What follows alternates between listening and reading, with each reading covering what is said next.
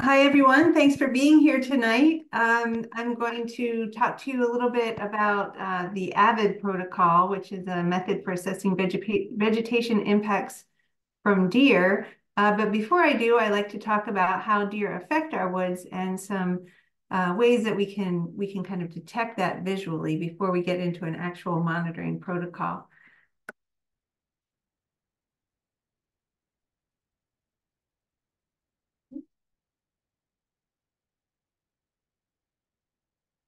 There we go. Okay, so I'm going to talk about the condition of New York's forests. You know, what do they look like? How are they looking today? What's the prognosis?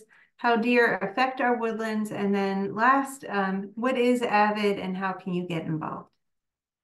So what makes a healthy forest? And there are many, many elements of a healthy forest, but um, to just kind of sum it up in a nutshell, I'm going to talk about a healthy forest as being one that has a variety of different native uh, plant and tree species and the ability for a new forest to grow, or the term that you may have heard is regenerate um, in the case of disturbance. So that can be a natural disturbance like a blowdown or an ice storm, or it can be uh, timber harvest, which often is, um, you know, timber harvest kind of uh, replicate what a natural disturbance would cause. The issue in New York State is that um, you know, regeneration has been kind of difficult in uh, recent decades. Uh, the Nature Conservancy did some modeling in 2010 looking at the predicted regeneration of native tree canopy species in New York State. And uh, in the image that you see in this slide, uh, green means very good uh, predicted regeneration. Um, light green means good. Fair is kind of that orangish tan color, and poor is in red. And so overall in the state, 68% of forests had uh, good to very good predicted regeneration, and a third was poor to fair.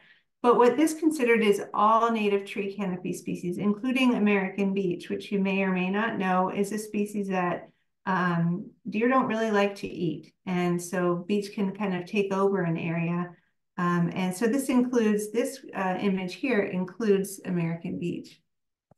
When they looked at just desirable timber species, so that would be things like maple and ash and oak, and for me, for being a wildlife biologist, I'm not thinking of it in terms of desirable timber species. I'm thinking of it in terms of tree species diversity. And uh, so just general diversity and different kinds of trees that you can grow. Um, but when they looked at those species alone, um, only 43% of our forest stands were predicted to have 40 or good to very good regeneration potential, and over half were poor to fair. And you can see that most of the good regeneration potential um, in this case is really located up in the Adirondacks and areas like the Hudson Valley and the Catskills are looking um, pretty poor.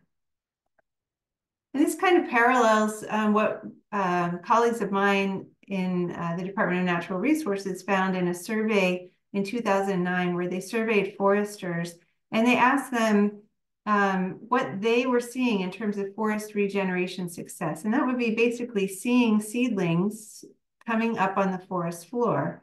Um, are there young trees replacing the mature trees in the canopy? And um, I just want to kind of direct your attention to the numbers in red uh, where un, under the column statewide. And statewide, they thought 45% um, of the stands were marginally successful across the state and 25% they considered a complete failure. When they were asked, you know, what they thought were the main causes of failed forest regeneration, and they could choose more than one, so it's not going to add up to 100, but deer browsing came um, came up as the top uh, top reason, and interfering vegetation um, was second. That was about 50% of the stands. They felt like other vegetation was interfering. And interfering vegetation, I'll show you some pictures um, a little later on, but that could be invasive species or it could be native species that are taking over a stand, kind of um, outcompeting others. So DEC's recent deer management plan, which covers the period from 2021 to 2030, um, in that plan, they use a term that um, a colleague of mine from West Virginia, Dave McGill, um, kind of coined in a paper in 2019 called regeneration debt. And that's, um, he defined that as the condition that predicts the eventual loss of canopy species when you have a limited abundance of seedlings and saplings um, available on the forest floor to kind of take the place of canopy trees if they were lost, or a mismatch in the species composition. So that would be, you know, say you have sugar maple in the canopy, um, but you have nothing but beech on the forest floor in terms of seedlings and saplings. That predicts that the composition of that forest over time is going to change. It's not going to be the same forest in the future. Or there may not be any seedlings at all to replace those canopy trees should a disturbance happen today. Um, so essentially, um, you know, regeneration debt exists when the number of seedlings and saplings isn't adequate to replace um, replace the the canopy trees. And here's a uh, a picture, a very uh, simplified picture of New York State and regeneration debt um, across the state by aggregate wildlife management unit. And you can see here that acceptable regeneration is present generally in the Adirondacks and a little bit of the southern tier there. It's uh, vulnerable. Regeneration is considered vulnerable in a lot of the rest of the state. There's an area that's uh, not acceptable in the Finger Lakes region, and then also down uh, most of the Hudson Valley and Long Island is considered not, not acceptable regeneration being present there. So that's just a more updated modeling um, that was conducted by uh, SUNY ESF as part of um, DEC's uh, moving toward their new management plan. So white-tailed deer are, um, are very interesting because they have the ability to change their own habitat and the habitat of other species. And they do that through um, basically by what they eat and how much they eat. And so how do deer affect the forest?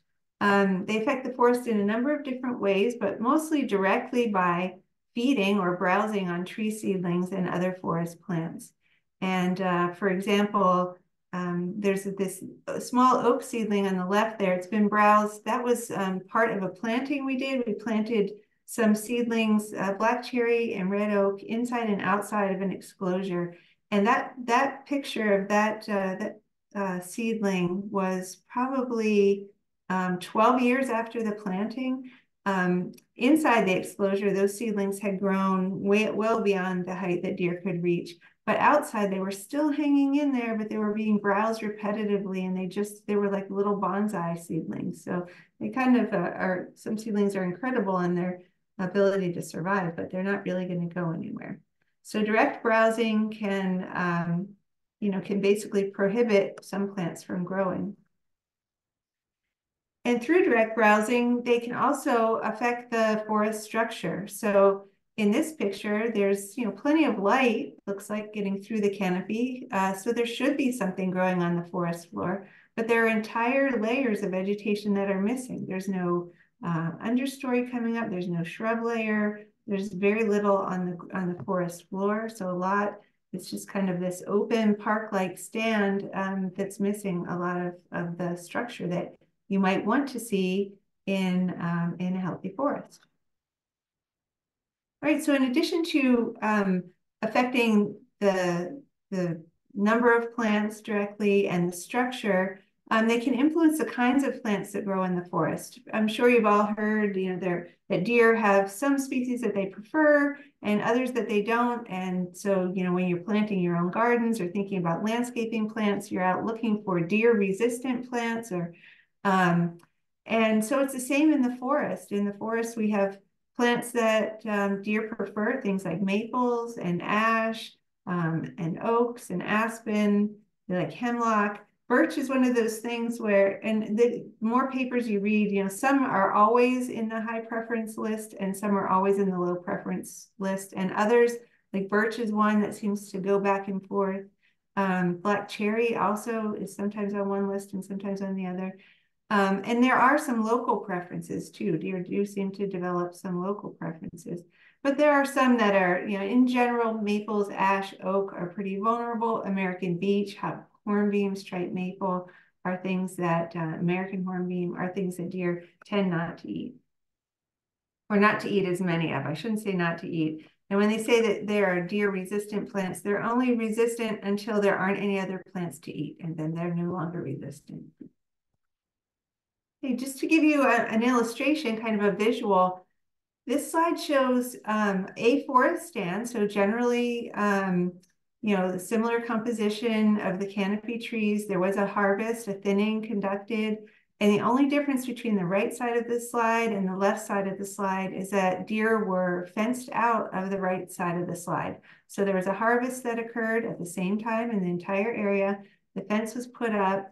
And what we see here is that on the right, we have this whole understory starting to grow and thrive. There's a diversity of different woody species that are growing up versus the left-hand side where you see grasses and ferns, probably hay-scented fern or New York fern. And you can also see that there is basically no vegetation in the first six feet, other than the fern and grass, up to about six feet um, high. And that's called a, a browse line it's basically the area that deer can reach. And so um, I notice a lot when I'm driving along New York highways and I look at the edges of a field and I look at the, the woodlands, uh, the woodland and field edge, and you can often see that browse line up to about six feet where you see nothing um, as you peer into the, the woods that you're driving by.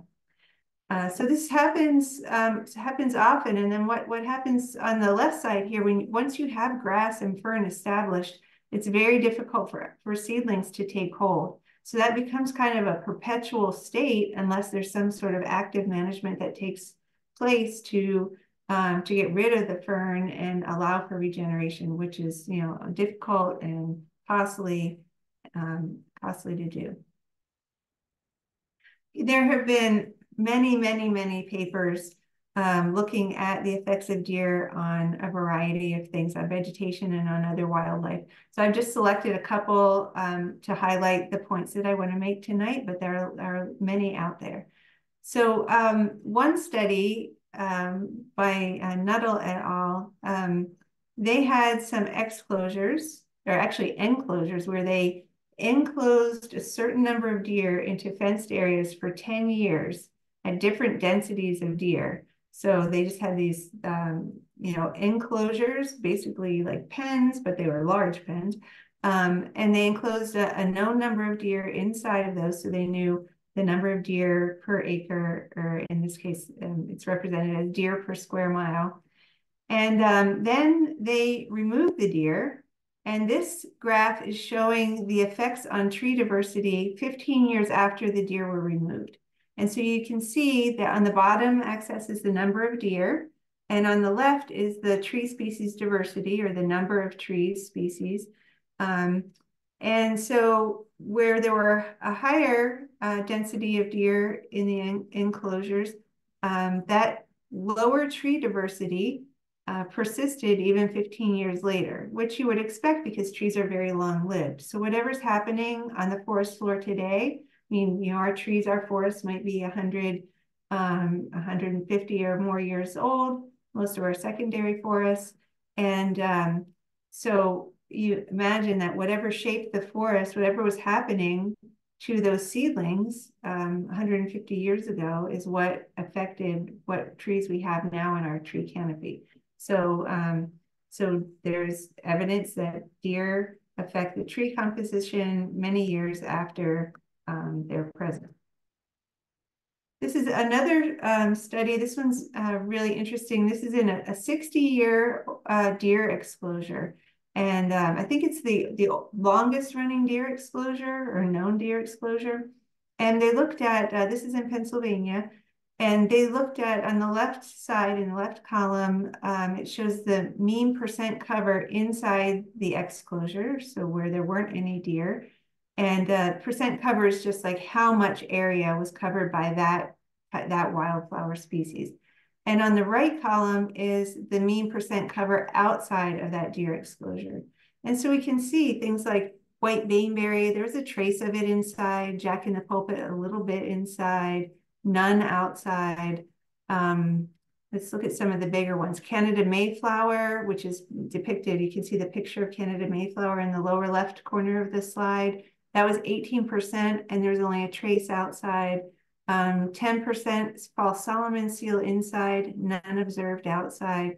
There's in, Indian cucumber root inside, very little outside. And then, you know, it goes on and on. Red trillium, 9% inside, less than 1% outside. Um, so altogether, that 42% of the ground was covered with wildflowers inside the exclosure, and only uh, less than 1% was covered by wildflowers outside the exclosure.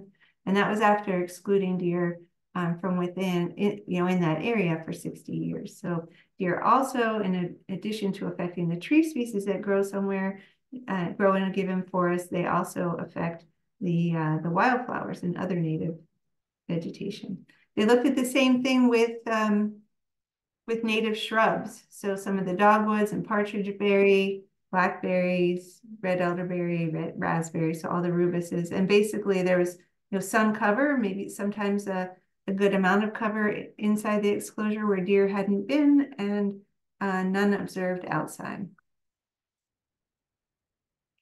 And then they looked at ferns, and uh, so there was a little bit of rattlesnake fern inside, a little bit of hay-scented fern inside, some intermediate wood fern and some New York fern. Um, not much uh, New York fern inside or outside. But if you look, interestingly, the hay-scented fern was more abundant outside of the exclosure. And that's because deer tend not to prefer hay-scented fern. They don't eat much of it. And so once, you know, it gets established very quickly when they're eating other things, um, kind of gives the fern, the hay-scented fern a competitive advantage um, sometimes those grasses too. And then again, they get established. And once they're established, they're very difficult to, um, to get rid of. So the conclusion of that study, um, again, from north central Pennsylvania, was that deer browsing has caused about a 60 to 80% decline in the number of species that they have in that region. Many of the plants um, that they were looking at have low dispersal and reproduction rates. So that, re, that reduced number of species uh, will persist for many, many years. Okay, so in addition to uh, affecting the native species that we have in our forest, um, when deer browse those native plants, um, again, it allows room for things like ferns or uh, for invasive plants to take over. So it's essentially uh, by removing the native vegetation, it's it's creating this opening, this opportunity for invasive species to, to move in. It's kind of a disturbed condition. And so oftentimes you'll have things like garlic mustard or Japanese barberry moving in and uh, creating a degraded, more degraded plant community. And similarly, once you have invasive species, unless you take some sort of active management um, approach to to get rid of those and to re, you know to be able to replace what's on the forest floor with something else, um, then that's usually the, the condition that will persist. And it's not only um, invasive species. Um, I mentioned the fern, and I show another picture of that here, but also um, American beech is a native species, a tree species that, um, because of beech blight, uh, they it's a, a, disease that beech trees get. Uh, when they start to die, um, they'll sprout profusely from the root system and create these beech thickets. And as they do, and the, the small beech start to grow, um, deer don't really like to eat them. And so they tend to um, get an advantage over, over other species. And then they form these, uh, what we refer to as kind of beech thickets. Okay, so um, deer affect the vegetation in a forest, they affect the structure, and um, by doing this, they affect other wildlife.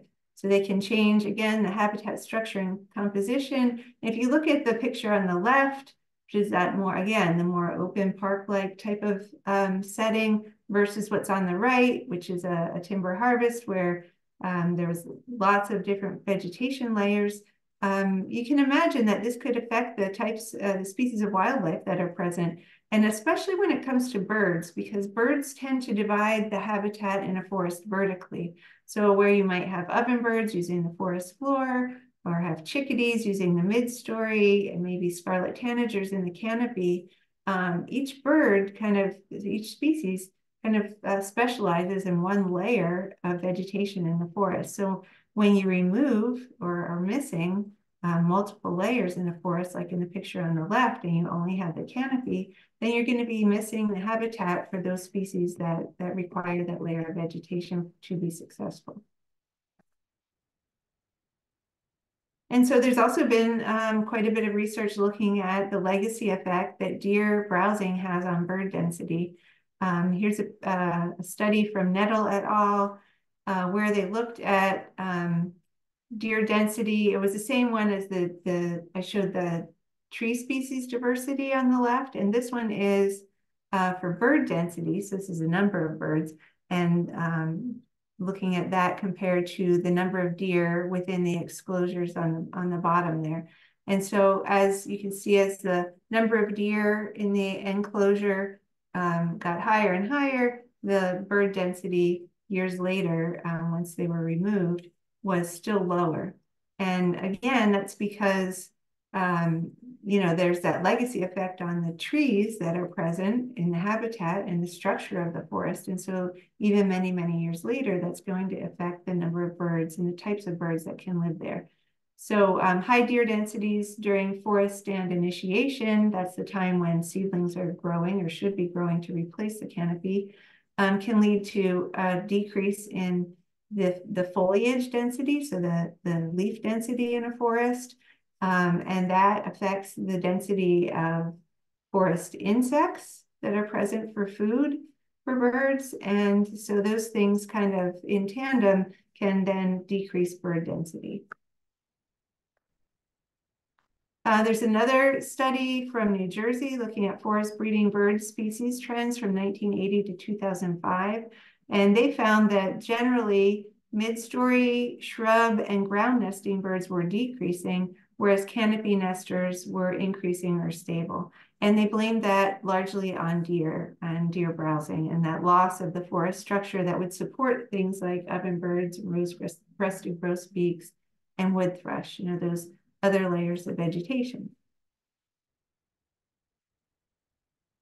And deer can also have a, a long-lasting effect on their own habitat. So I think um, it's something to keep in mind that if deer are basically are eating themselves out of house and home as they as they uh, overbrowse these forests too. So um, less less food available uh, for deer, less food available for other species. Okay, so what what can you do or what can we do um, to help this? Um, there, there are a number of things. Um, I think the most informative thing is to just do a visual assessment. So basically just go out in the forest and look, whether it be your own property or properties where you're hiking, um, properties in your community. Um, there's a lot of value to just observing when you go out in the forest. Um, you want to look um, at tree seedlings. Is there direct evidence of browsing, like on the seedling that I showed you on the earlier slide? Um, are there spring wildflowers, things like trillium present, and do they flower? So this is something that, that was very um, interesting to me when I started this project. Um, I was used to seeing deer browsing seedlings, and I knew that deer had an impact on native vegetation, but I, I hadn't really been looking closely at wildflowers in the forest. And for AVID, and um, we tried to develop a protocol to uh, to monitor seedlings and one to monitor wildflowers. And the wildflower one is, is just not as easy to use, and I'll explain why later. But um, but as part of that, I started going around and, and looking. Okay, so I was at our teaching and research forest, the Arnot Teaching and Research Forest down near Newfield. And I was walking around this one stand and I was seeing a lot of trillium, but these teeny tiny three leaf trilliums, very young, um, small, and then some that were a little bit bigger, but they weren't flowering. And then I happened upon an exclosure that somebody had put up probably 25 years before for a different reason. Um, and there were uh, lots and lots of trillium, and they were like two feet tall with big showy flowers. I'd never seen anything like it. It was really incredible. We're all in the same stand. And outside of that tiny little exclosure, a lot, just a lot of those little guys there. So when a when a wildflower is browsed by a deer, um, it has to put all its energy into into growing the plant, regrowing the plant, and it doesn't have the energy to flower and produce seeds. And for something like trillium that can take seven years before it even flowers and produces seeds, um, you know, it can take a long time for, for a population to recover. Um, and uh, in the meantime, if it's being browsed and not flowering, there are no seeds going into the soil to create future trillium. So it's really interesting to really take a hard look um, to learn what those, especially trillium, uh, looks like when it's small and, uh, and to, to take a look around.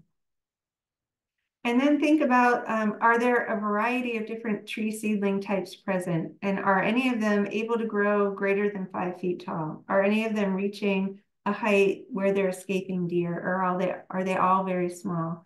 Again, at our, uh, that same stand where I was looking at Trillium, um, there are, it's a sugar maple stand, lots of sugar maple in the canopy. And there are a lot of sugar maple seedlings on the forest floor but they're all about six inches tall.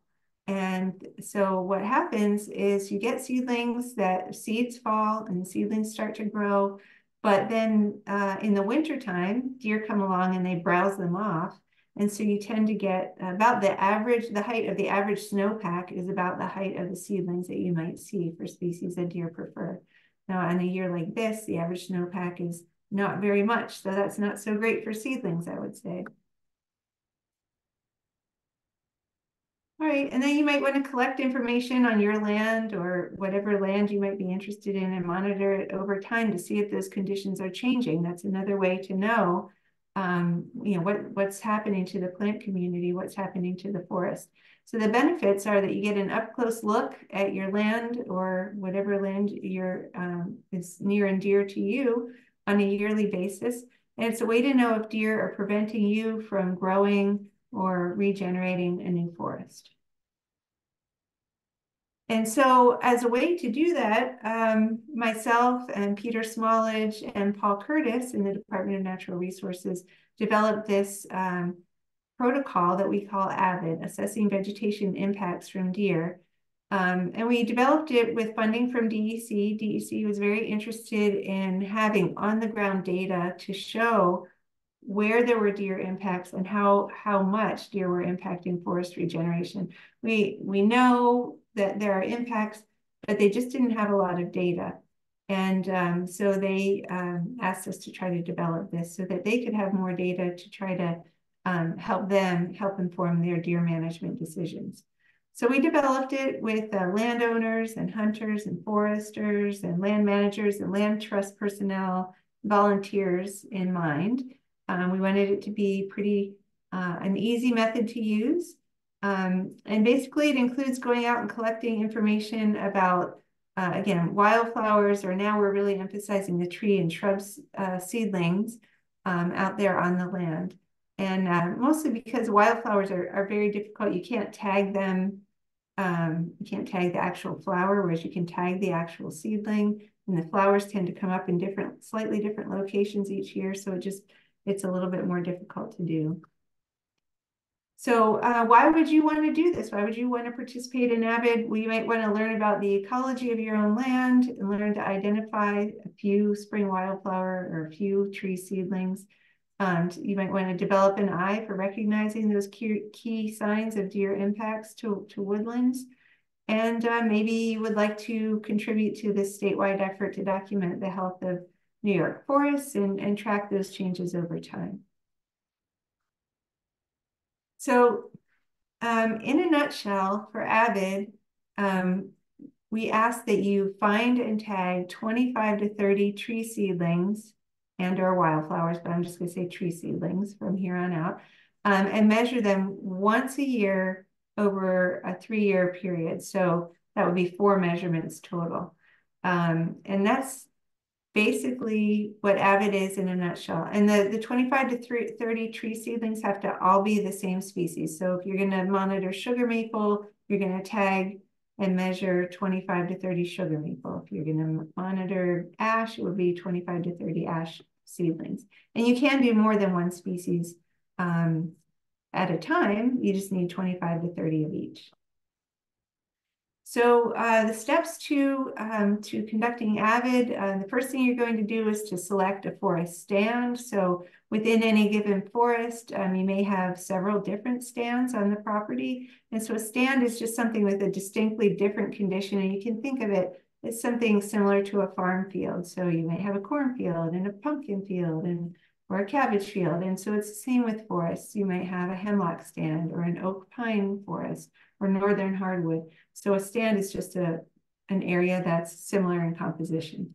And you can select one stand to monitor, or you can select more than one stand. and um, and then the next thing you want to do is to select a, a site or an area of that stand where you want to actually put your plots in. And so you're looking for an area that basically isn't too steep because if it's very steep, um, you know, that can limit the amount of deer browsing that's happening. And so it might not be representative of what's happening in the forest overall. You don't want a site that's super rocky because it's really, um, it can be hard to pound your center stake in. And also the rocks will inhibit seedling growth as well. Um, and you want to avoid areas where ferns and grasses and invasive species cover much of the site because you're not likely um, to have many seedlings growing there anyway. All right, so you just kind of do some reconnaissance. You take a little stroll, you look around in the area that you think you're going to monitor. Um, you take a look at what seedlings are growing there. You don't have to know your seedlings right off the bat. You just find something that looks the same and is happening over and over and over again. And then you can just narrow it down to identifying that one species. Once you know, well, yes, I'm going to have 25 to 30 of these. It shouldn't be a problem to monitor this species. Um, and you can you can kind of just learn one or two that way. And so look at what's the most abundant. I'm finding um, that ash seedlings are probably the most abundant in mature forests. So even though ash has, you know, emerald ash borer. When it's getting older, there are still uh, quite a few seedlings on the forest floor. And so ash can still be a, a beneficial species for monitoring. Um, same thing with wildflowers if you're going to attempt wildflowers. But as I said, the seedling method is easier.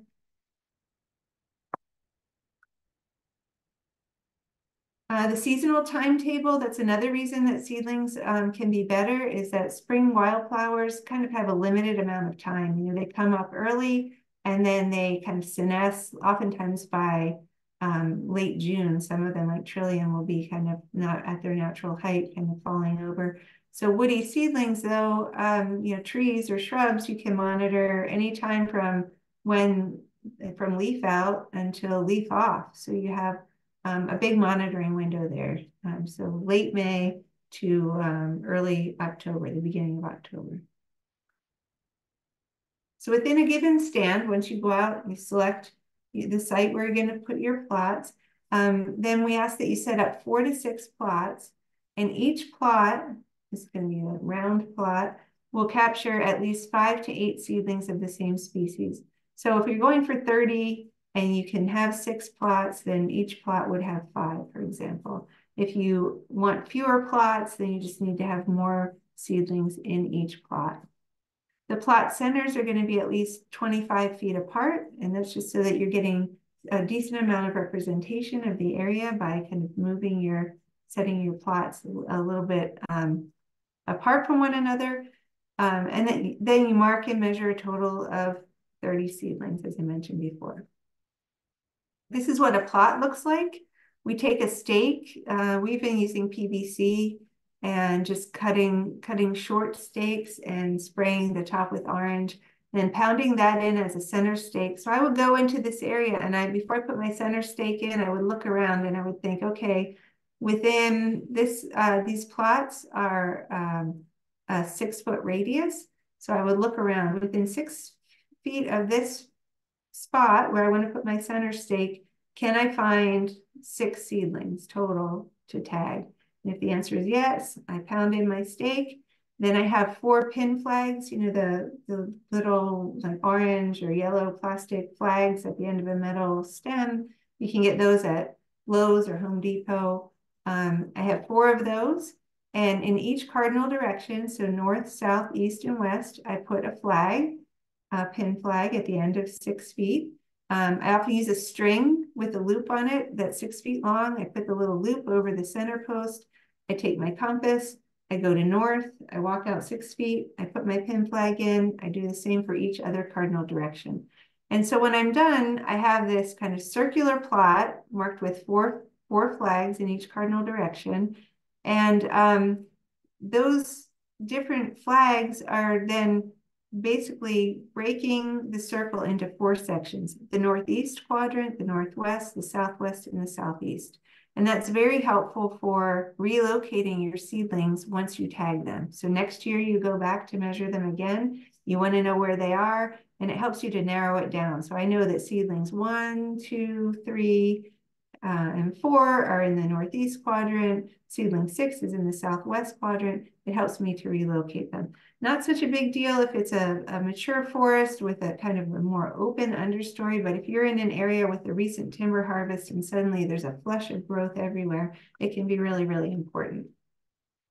So you want to record a number of different things. We have a site uh, plot data sheet and a site data sheet.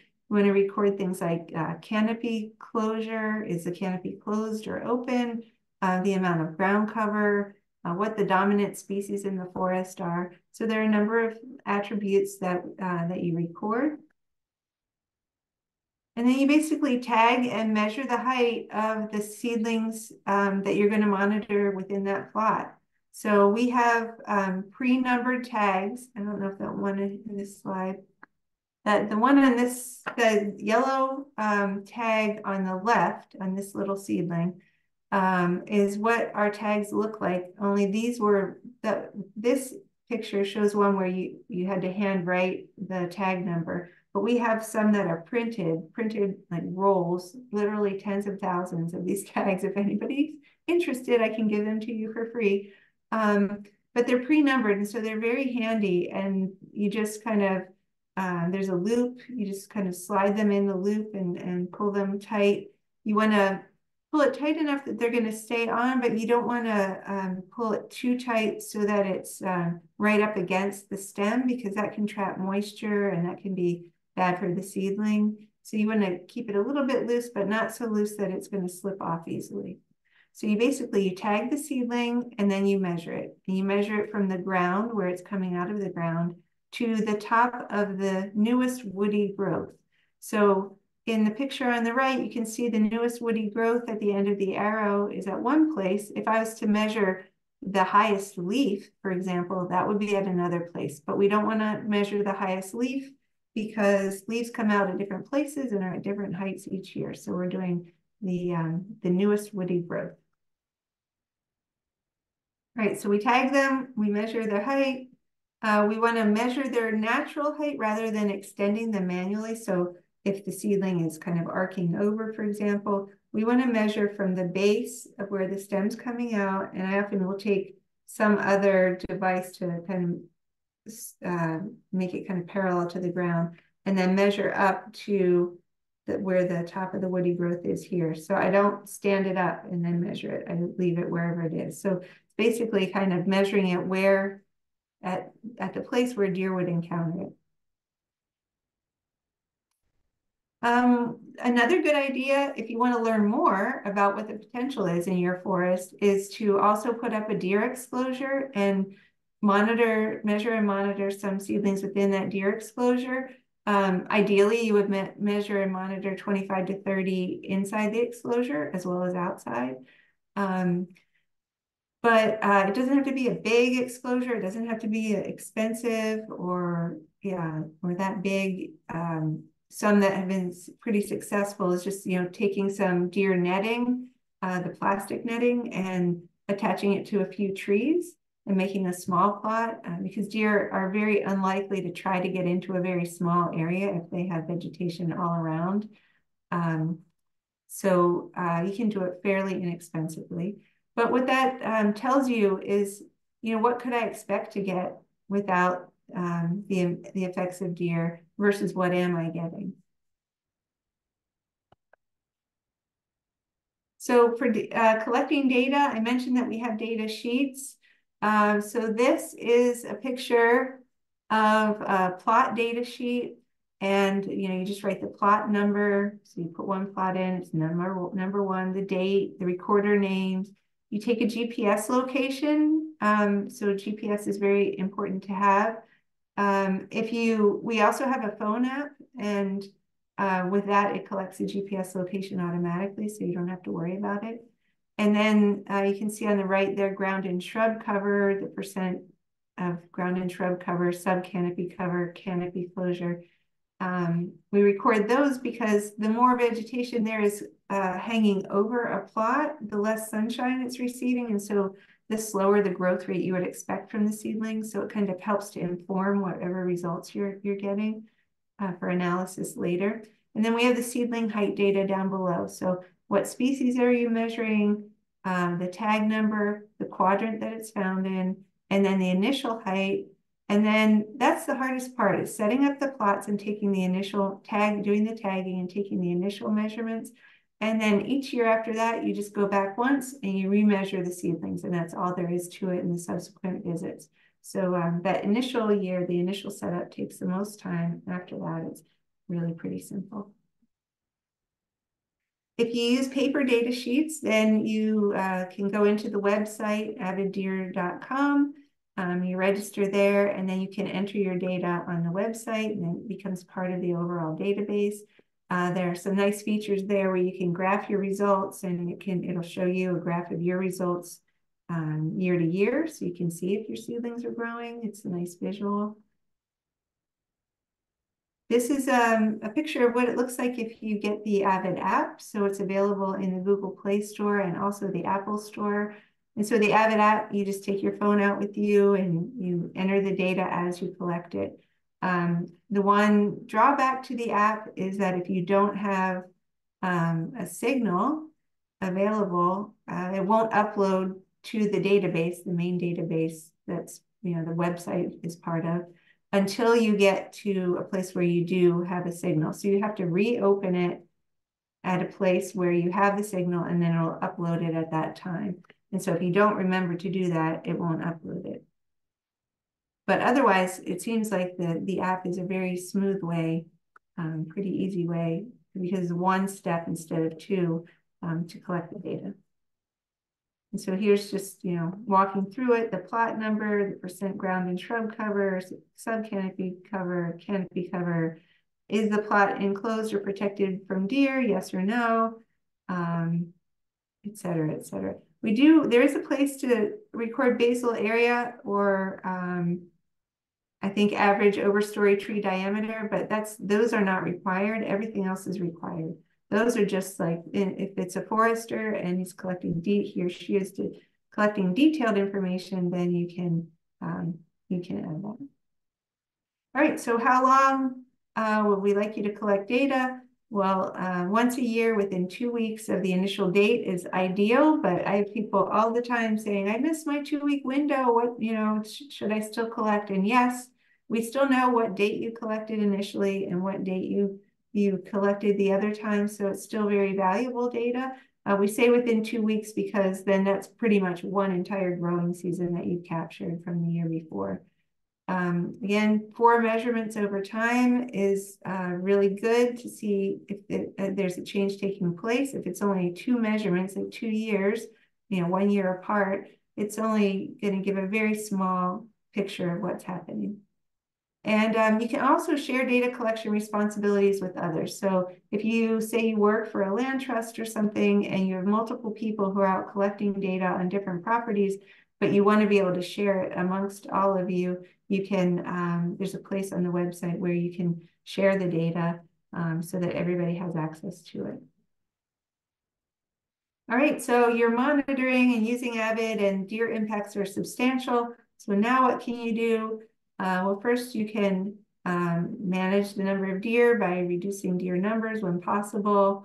And uh, preferably before, if you're going to have a timber harvest, you want to reduce the number of deer um, if at all possible before that timber harvest so that new seedlings have a chance to grow um, once the canopy is removed. Um, you can fence to exclude deer and even small exclosures can be beneficial, really small, like a series of small clusters, anything to get some clumps of regeneration growing. And of course, if you have a very large property, that might be really difficult to do. Um, or you'd have to, you know, spend many years doing series of little exclosures but it is one option that can work. Um, you can also leave a good amount of woody material or treetops on the forest floor uh, following a timber harvest to kind of help out with that. Or I even a, a, a dead tree or a tree that might be competing with another one to try to create these kind of piles of woody material. Um, we've done a, a very large long-term research project uh, looking at the effects of leaving um, large amounts of wood on the forest floor following um, following a harvest. And you can see in this picture, one of our interns, Ryan, he's by one of the, the piles of wood that were left behind. And you can kind of see the seedling height is short near Ryan and it gets taller as you go in. And basically, it gets taller after at the length of a deer's neck. So basically, the deer, as far as the deer could reach into that pile, the seedlings were pretty chopped down, but once the deer couldn't reach in anymore, then they, they were able to escape. Um, and then you can keep monitoring and submitting data uh, because your data combined with that of others um, is going to help DEC to assess deer impacts to forests and, and they'd really like to use the, these data to make management decisions or to help inform them. So what does success look like? Success looks like seeing changes on the ground, wildflowers appear, they're taller, they flower more often. If you have an exclosure outside of the fenced area, starts to look a little bit more like the inside. Although, as we saw from some of those research uh, papers, you know, sometimes that legacy effect can last for a very, very long time if your browsing impacts have been significant enough for long enough. Um, you might see that seedlings, especially those of species that are preferred by deer, are growing past the height where deer can reach. So that's success. If a seedling grows beyond five or six feet, that is, that's what we're looking for. And I just wanted to share that we had a, a we did publish a paper on AVID um, in the Journal Forest Ecology, Forest Ecology and Management. Um, basically, it was a paper showing that the method works, that over three or four years, we were able to, we were measuring inside versus outside of exclosures so that we were able to see, is AVID a sensitive enough method to detect the difference um, between um, areas, between heavy deer browsing and not, or deer browsing and not. And um, we did um, see a difference over three or four year period. And the difference is uh, there on the right in the red circles. You can see for sugar maple, for example, it was 18.3% higher outside or inside the exclosures than outside. Um, same thing, you know, at many of our sites, it was variable, you can see. So red oak, same thing. Most were, almost all, actually all of them were taller um, inside the exclosures than outside um, as detected by, uh, by using AVID. So just to sum it up, uh, AVID is effective for detecting and documenting deer impacts. It's a sensitive and site-specific measurement that can provide valuable local information. Um, and as AVID becomes more available and there's enough data, then DEC will be able to use this to further inform decision-making. There are, I put this here to mostly to remind myself to mention that um, we have some partners in Minnesota who started using Avid and they developed some uh, videos, some YouTube videos on setting up plots and measuring seedlings that are can be useful. Um, and um, I put those up there mostly because then we just recorded some videos last fall and they're almost ready. So they will be up on our website, aviddeer.com. They should be up there by April, I would say at the very latest. So they will be available, um, how to set, how to choose a site, how to set up a plot, how to measure the seedlings, three short videos that you can refer to even in the field. And then I think we'll, we'll put together one last one, which is just kind of a visual walkthrough of using the app. All right, if you have any questions at any time, or you would like seedling tags, you can always reach out to me um, at my email, kls20 at cornell.edu. And um, as I said, I have a lot of seedling tags that I could share with you. Um, I want to open it up for questions, and uh, perhaps I'll start with a question. Okay.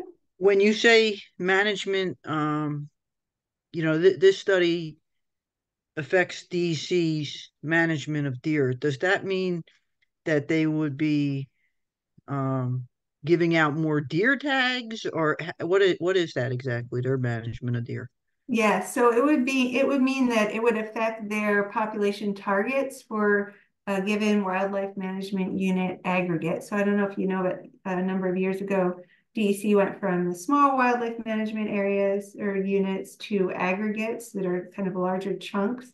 And so within those, those larger wildlife management unit aggregates, um, the data would be help used to help inform which direction deer populations should be headed based on based on forest impacts. Should they be maybe kept the same, decreased, or increased? And um, so it would help to to inform those uh, the trajectories, I guess you would say. And so yes, the, the number of um, permits allocated, things like that. Are the um, DEC foresters required to follow this for the areas that they're in control of? Do they have to go out and actually do this? No, they're not. And so actually, so it's DEC Bureau of Wildlife that started this. So it was a deer management group that was interested in knowing because they're the ones who have to set the set the the, the quotas and the, the targets. They're in charge of deer management. And they started this as a citizen science method. They wanted a citizen science method because they don't have the the funds to hire somebody in-house. They just don't have the personnel to do it.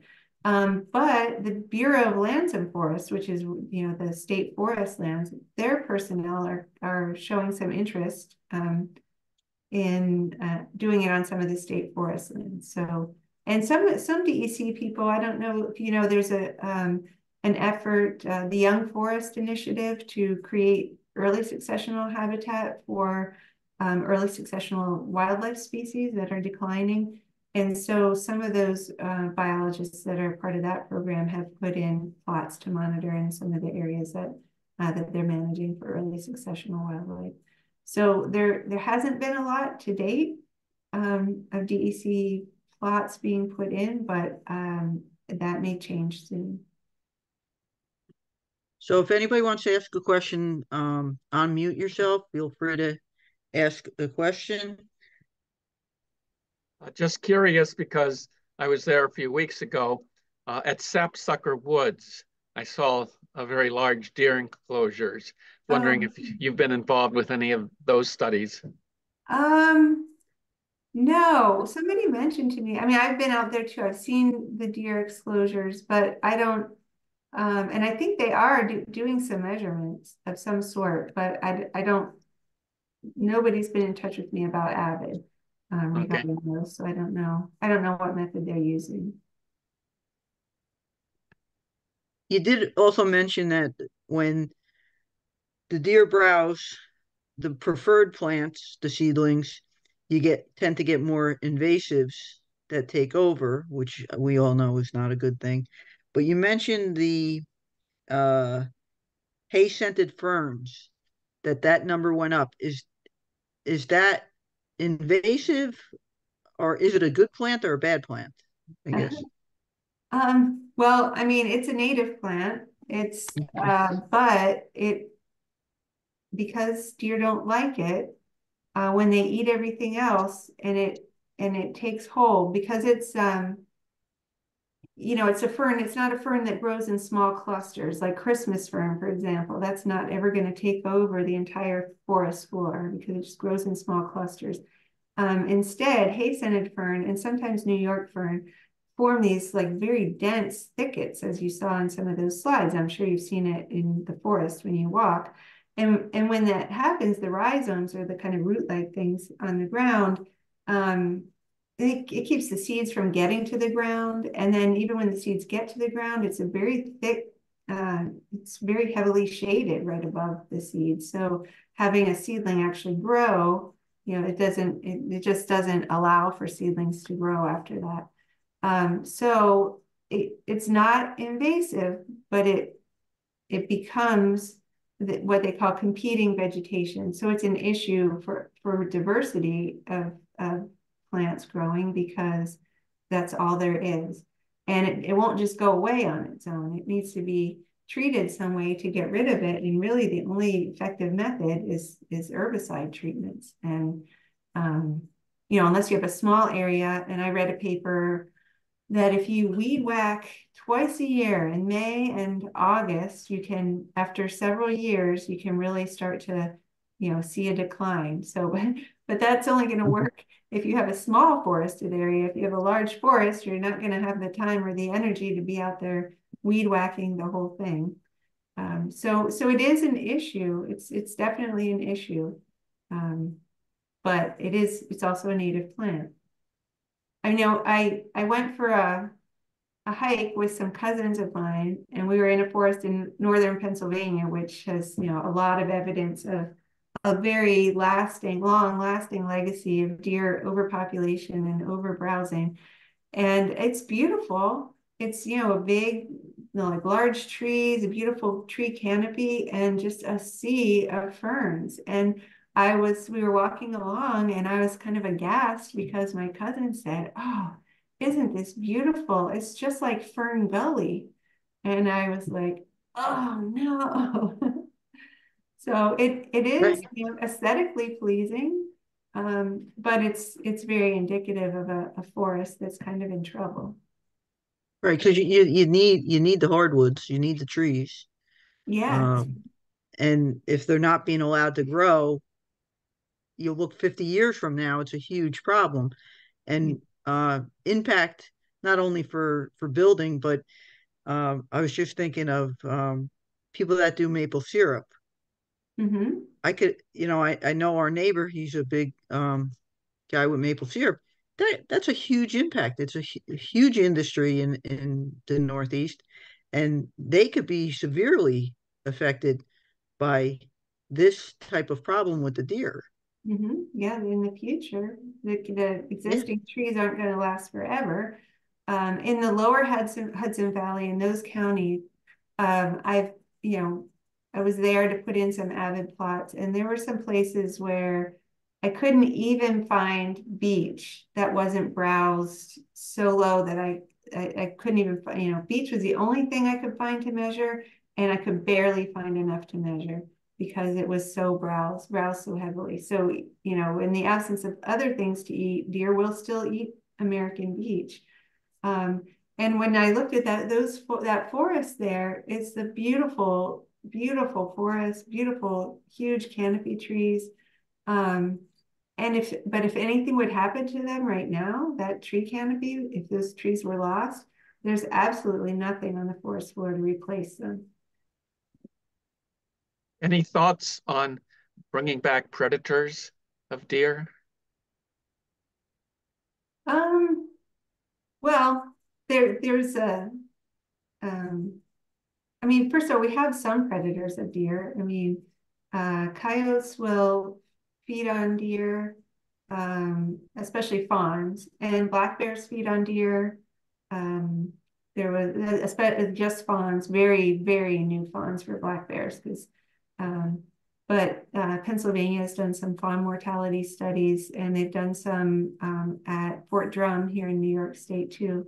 Um, so there there are some predators. I mean, we don't have wolves, but um, you know, there's you know whether wolves will make it back here or you know, whether it's socially acceptable to have wolves living in a in a state that now has a pretty dense population. You know, whether that would ever be compatible is is something I know um, was looked at a number of years ago through some some survey work and everything across the state. I'd say decades ago, and they found it, it really wasn't socially. It, it wouldn't be very compatible, I guess, socially. So. Um, yeah, you'd you'd have to drastically change the coyote hunting laws in New York before you could introduce wolves because a couple years ago a wolf was killed uh closer to Albany than where I am and the hunter said he thought it was a coyote and there's no bag limit on coyotes so to hmm. introduce wolves it's just not going to happen. But um, there is a um, larry if you're interested there is a interesting video called how wolves change rivers. And it talks about the vegetation and the undergrowth and how uh, the erosion of the rivers was bad because of all the deer browsing. And once the wolves were reintroduced, it kind of stabilized the population and vegetation was able to grow. Bunnies came back, foxes came back, birds came back, the vegetation, and it helped the health of the river. So, you know, there is some stuff out there, but yeah, New York, you know, New York's just not ready to have wolves back here.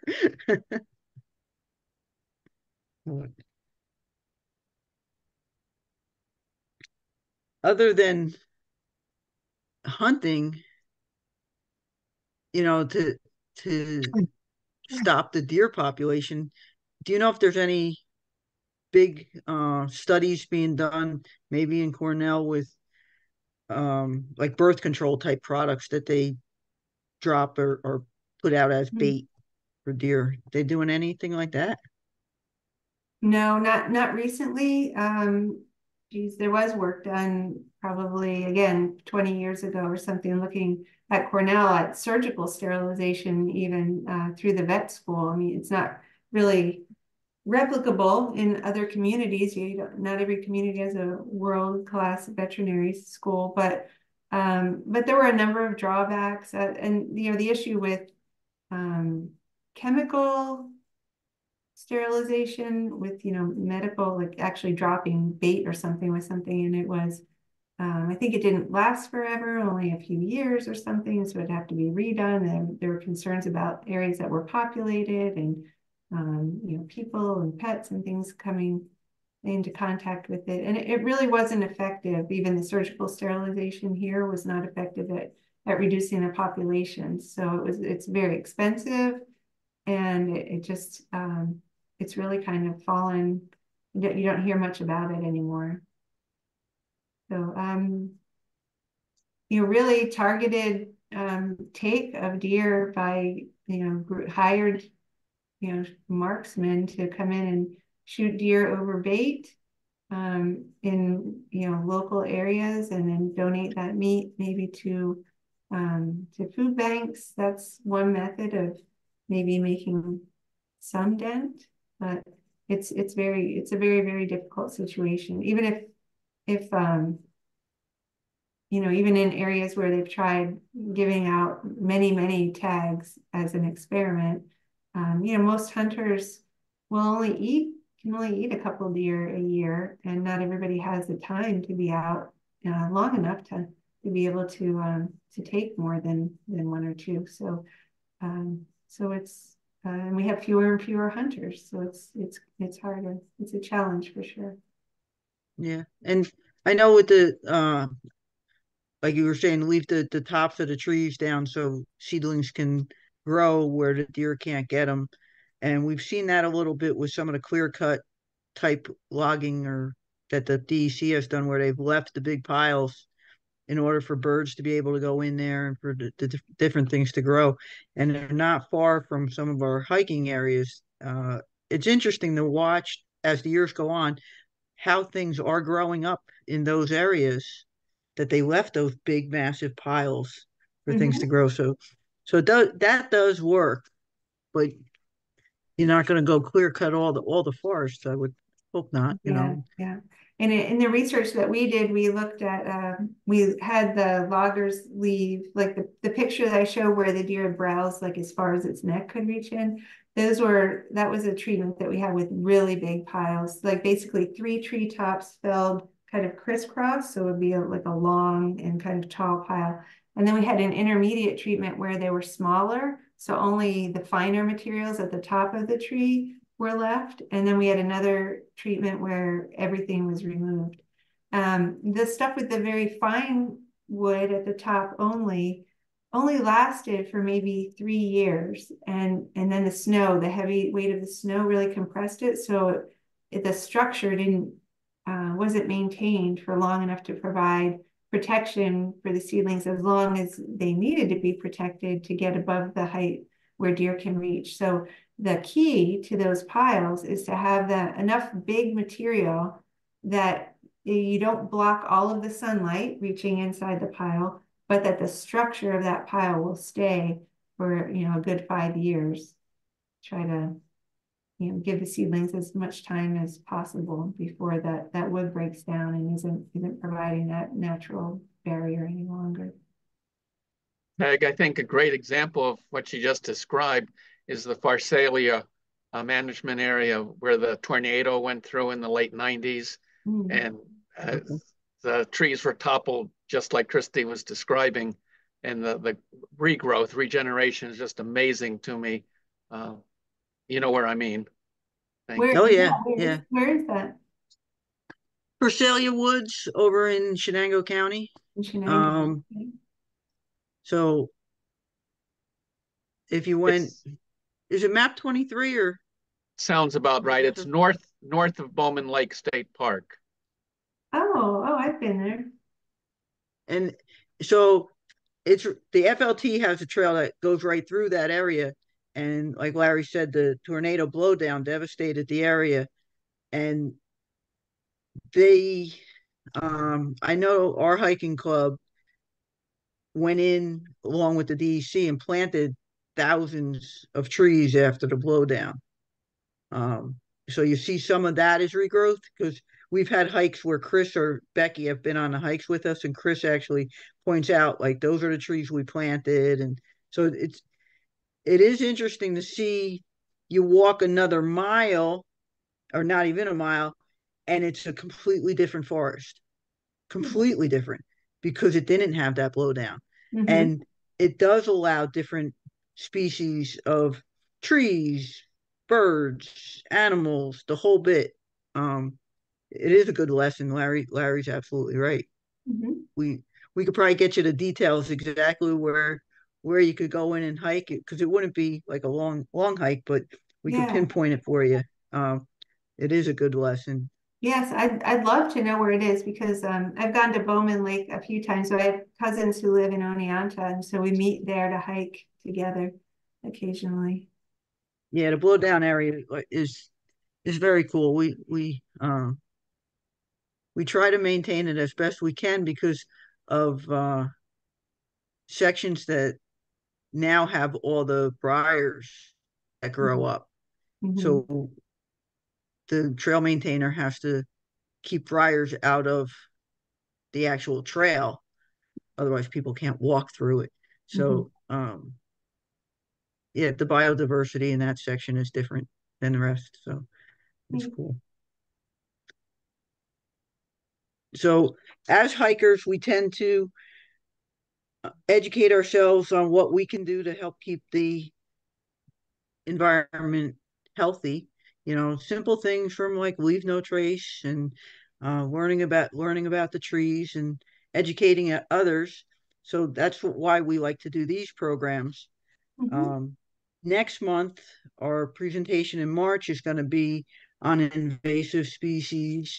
The um, we have a representative from Finger Lakes PRISM doing a presentation mostly on the the hemlock woolly I don't know how to say the the bug's name. Yeah. yeah. So she's going to be talking um, mostly about that with the destruction that it's doing, but mm-hmm. any other type invasive species that we want to talk about because we we're seeing you know lantern flies not you know far from Pennsylvania line. They're mm-hmm. they're making their way up, and we've had the ash borer and uh, another we had another bug that was getting into a lean-to that the DEC had to give us stuff to actually treat the lean-to with to stop it from eating our lean-to. Oh, geez. So that was uh, what was Perkins that? Pond. Per, uh, I don't remember. I'm trying to remember. I asked somebody the, uh, the other day, and they couldn't remember either. it's like the, I it's a it bug. Has, we went to the DEC. Do you remember, powder. Larry? Yeah. Is yeah. isn't the word powder in in its name? Yes. Yes. Some kind of powder bug or something. Oh, huh. It was over at Perkins Lean To. Again, in you know, Pharsalia, Pharsalia Woods area. So um but yeah, that um we'll have that presentation. Everybody on tonight was able to get hopefully your, your email. And if they want to set up a plot, they'll be able to get some tags from you, which is excellent the if you don't have um, a lot of the computer technology, like you said, going out, that website that you gave, are you able to print off more of the instructions and forms? Uh, yes, it's a good question. So the data sheets are on the website and there's also a manual that has all the instructions on how to set Okay. up the plots and everything on there. There's also on that website, there's a link to a presentation very similar to this one, so you can kind of um, you know, go to the end and get the basics about how to set things up. And then the the videos, the how-to videos will be up there soon. Um, extremely informative. I appreciate your time um, giving us this presentation. We did record it and we're going to put it up on our YouTube channel too.